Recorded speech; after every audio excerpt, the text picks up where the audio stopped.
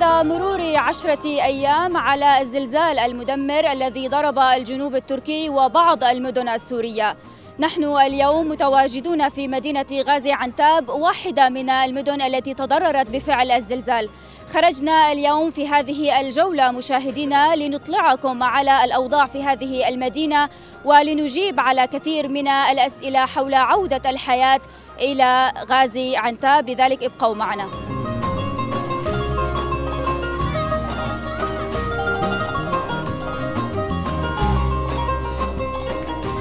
مرحبا. أهلين أهلين. كيفك عمو؟ الحمد لله رب العالمين. الحمد لله على سلامتك أول شيء.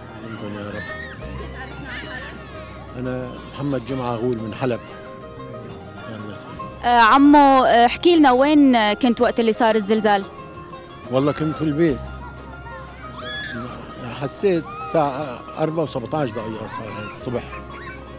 باركنا. والله قاموا كلهم نزلوا يعني ضليت بيرك أنا. خلص نزلت رجع صار واحد الآخر. أيوه ورحنا بعدين باركنا بالحديقة نصبنا خيمة شي 10 أيام. رجعنا هلا بيركين ببيتنا آه شو وضع البيت؟ إجت اللجنة قيمت البيت؟ والله ما حدا إجا.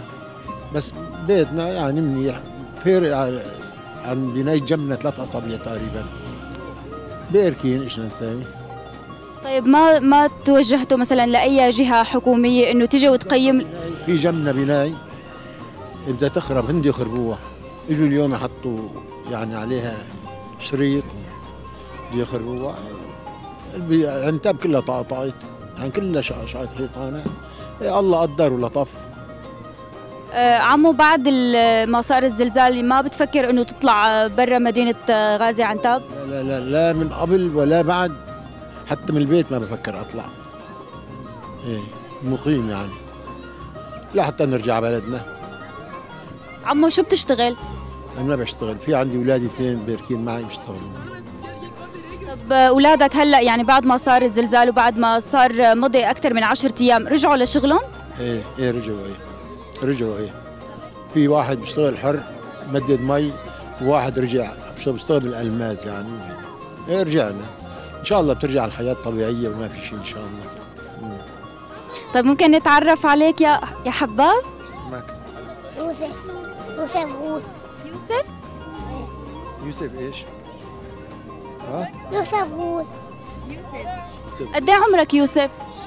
خمسة شهور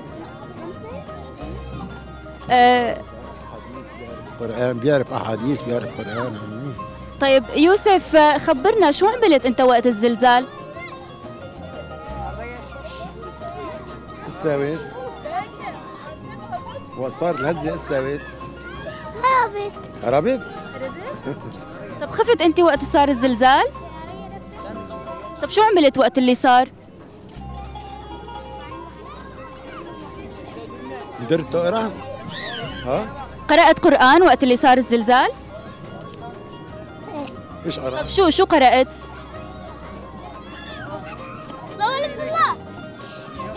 اقرا شو قرأت؟ أعوذ بالله أعوذ بالله من الشيطان الرجيم. بسم الله الرحمن الرحيم. ياسين والقرآن الحكيم إنك لمن المرسلين على صراط المستقيم تنزيل العزيز الرحيم. تنذر قوما ما أنذر آباؤهم فهم غافلون.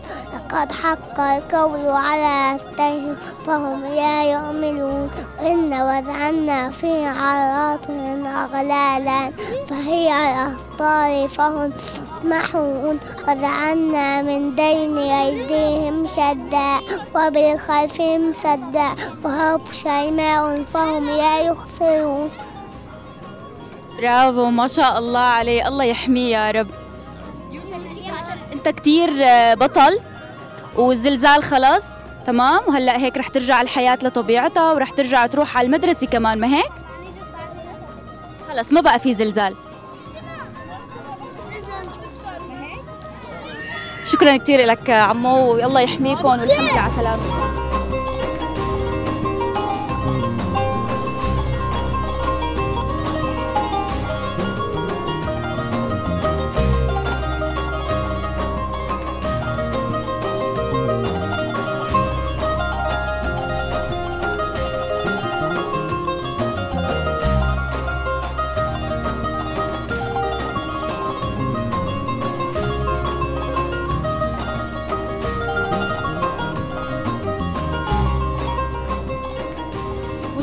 نحن الآن في منطقة مصال بارك في مدينة غازي عنتاب. خلفي مباشرة يوجد أحد المخيمات التي تم نصبها من قبل آفاد التركية في اليوم الثالث ما بعد الزلزال.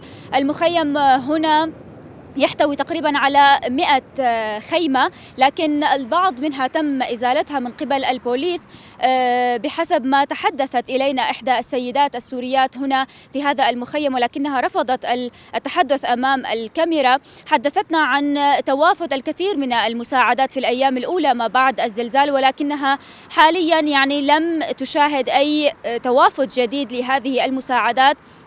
المساعدات حاليا تقتصر على بعض المبادرات الفردية فقط.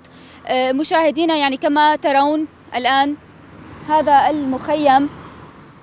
يعني الوضع صعب جدا بالنسبة لهذه العوائل. يعني السيدة التي آه، قمنا بالحديث معها هي آه، تمكث في هذه الخيمة أمام منزلها مباشرة ولكنها لا تستطيع الرجوع إلى منزلها بسبب وجود بناء آه، مؤلف من عدة طوابق وهو مهدد بالهدم. لذلك آه، يعني من شدة الخوف السيدة هي وعائلتها لا تستطيع العودة إلى آه، منزلها.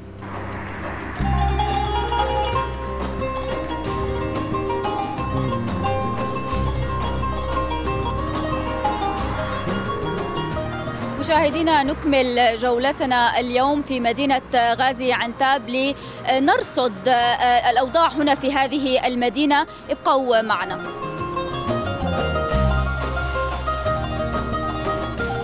السلام عليكم.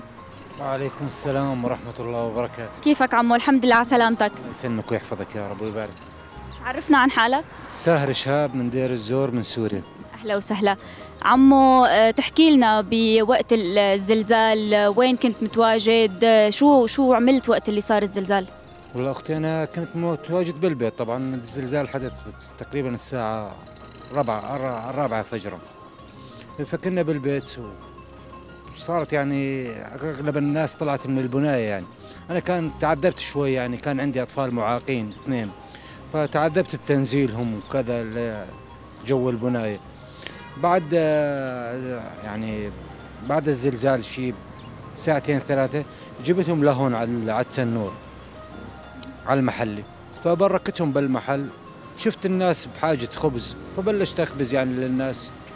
فأغلب الناس إجت يعني أخ يعني كان الخبز مقطوع يعني بشكل عام يعني الأفران أغلبها كانت مسكرة. فصارت أزمة كثيرة على الخبز.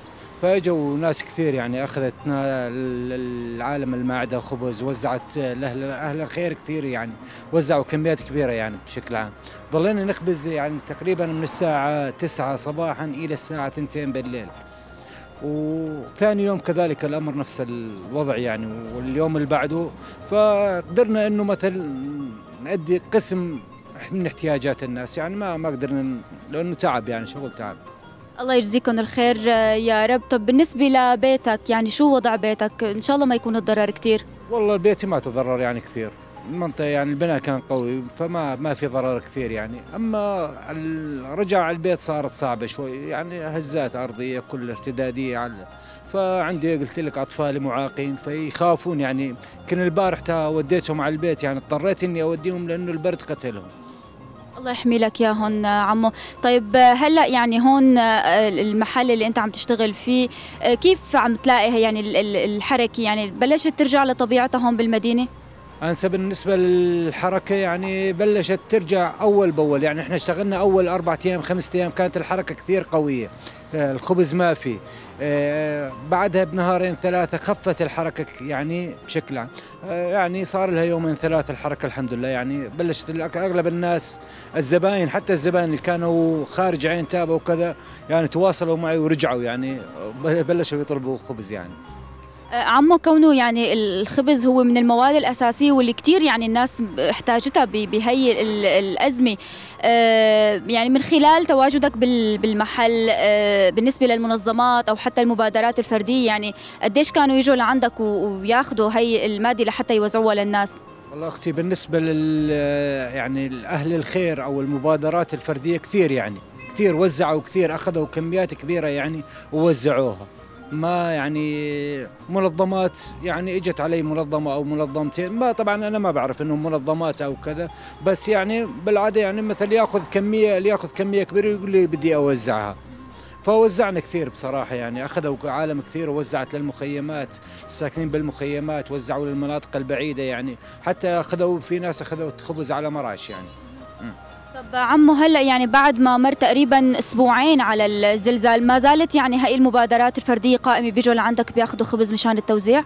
والله أختي يعني الخبز يعني تقريبا هلا توفر يعني بالأفران العادية توفر يعني فممكن ياخذوا خبز من الفرن أرخص وكميه أكثر يعني يلحق. أنا شغلي كله يدوي ما بلحق على يعني كميات كبيرة يعني. فأغلب الناس يعني يعني أنا أجن على ما يعني شفت إنه حتى الأفران الكبيرة أو كذا يكون خبزها محجوز. يعني ما عاد يوزعوا للمحلات محجوز لاهل الخير يعني. يقول لك هذول بدهم يوزعونه ببلاش. وتوزع الخبز ببلاش يعني فترة كثيرة يعني وكميات كبيرة يعني. الله يجزيكم الخير ويعطيك ألف عافية عمو. شكرا كثير لك والله يحميكم والحمد لله على سلامتكم من جديد.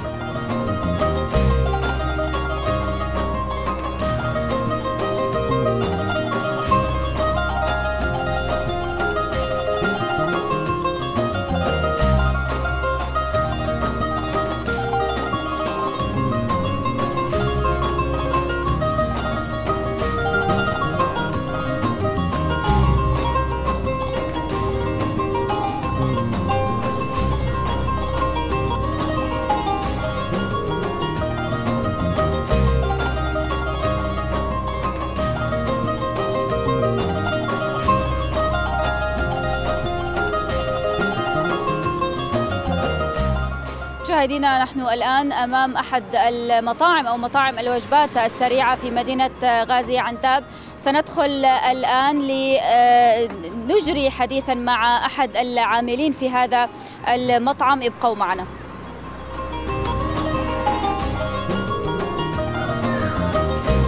مرحبا يعطيك العافية. أهلا وسهلا. تعرفنا عن حالك لو سمحت. اسمي حسن مصري. أهلا وسهلا. أستاذ حسن بس لو تحكي لنا هون عن المطعم المطعم هو لتقديم الوجبات السريعة.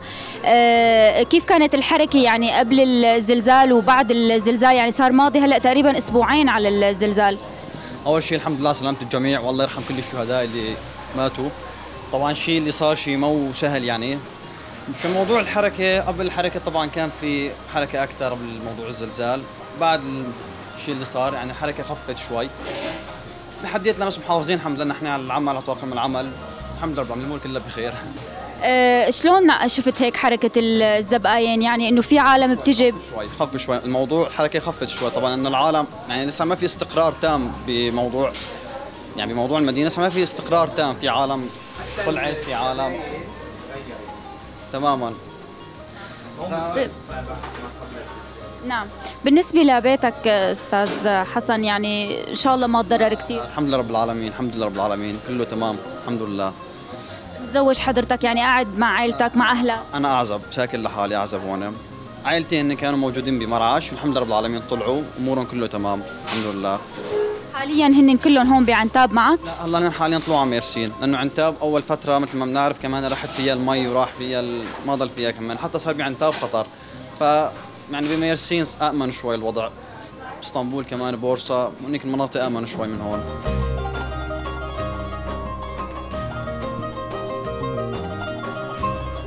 شكرا لك ويعطيكم ألف عافية والحمد لله على سلامتك. سلامة الجميع والله يرحم الشهداء.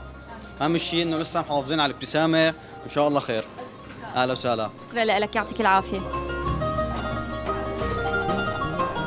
مرحبا يعطيك العافية. أهلا وسهلا فيكم.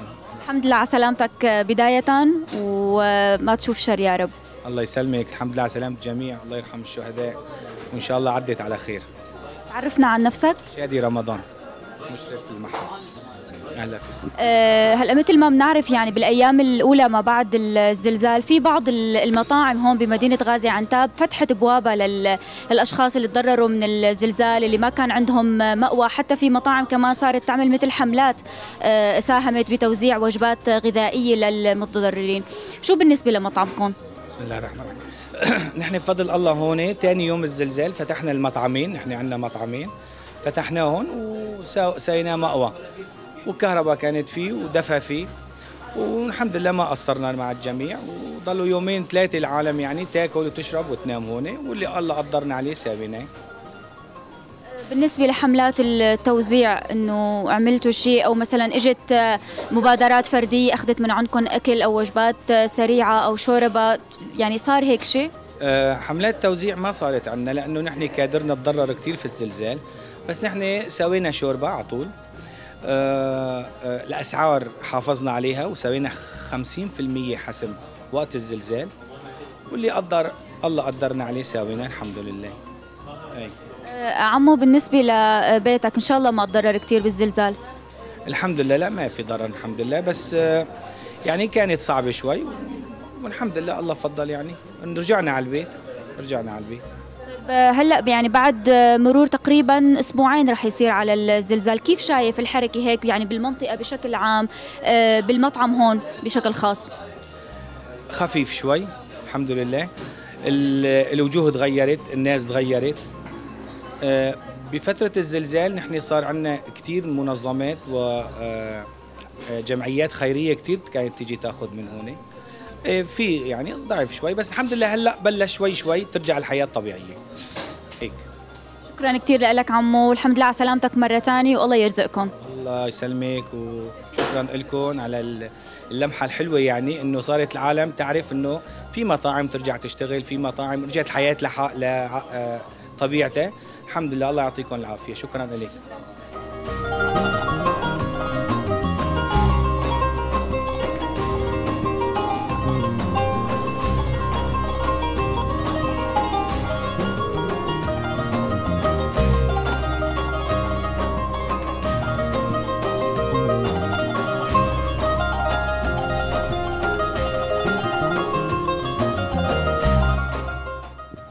مشاهدينا من أمام هذا الركام ننهي جولتنا لهذا اليوم في مدينة غازي عنتاب. بعد الجولة التي قمنا بها في شوارع أو في بعض شوارع وبعض المناطق هنا في هذه المدينة لا يمكننا أن نجزم أن الحياة عادت أو تعود إلى طبيعتها 100% في هذه المدينة مع وجود هذا الركام ومع استمرار الهزات الارتدادية إلى هذا اليوم مشاهدينا الحركة كما رصدناها من خلال هذه الجولة تختلف من منطقة إلى أخرى في مدينة غازي عنتاب. ففي بعض المناطق الشعبية آه، هناك حركة كانت شبه طبيعية ولكن هنا من أمام هذا المبنى المتهدم هناك سكون يخيم سكون مخيف يخيم على المنطقة. سألنا أحد المتواجدين هنا قال لنا أن آه، آه، حوالي 20 آه، قتيل فقدوا حياتهم هنا في هذا البناء وأيضا هناك أربع أربعة جرحى أيضا أصيبوا بفعل الزلزال الذي ضرب هذه المدينة. يعني لا يسعنا القول مشاهدينا إلا أن نترحم على أرواح الضحايا الذين فقدوا حياتهم في هذه الكارثة. الرحمة لجميع من فقد حياته في هذه الكارثة والشفاء العاجل لجميع الجرحى. كنت معكم أنا وداد باكير من مدينة غازي عنتاب. حلب اليوم.